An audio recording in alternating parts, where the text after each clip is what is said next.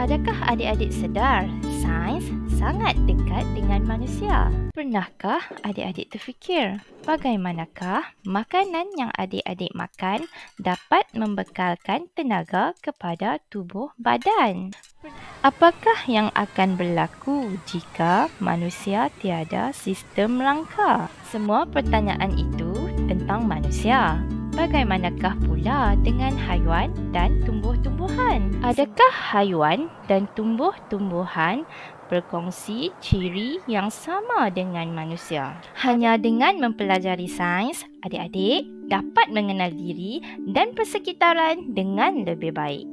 Sejauh manakah adik-adik faham dan hadam tentang sains? Mari uji diri adik-adik dengan kuis sains cerdas pindah klik pada pautan yang disediakan.